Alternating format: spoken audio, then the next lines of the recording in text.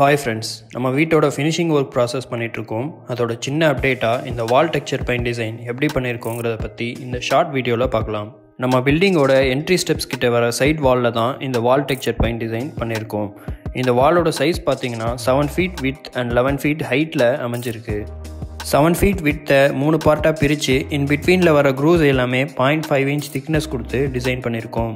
ஹாரிசாண்டலில் வர க்ரூஸ் எல்லாமே அன்இவன் பேட்டர்னில் டிசைன் பண்ணியிருக்கோம். வீடியோ பாருங்கள் உங்களுக்கு புரியும்.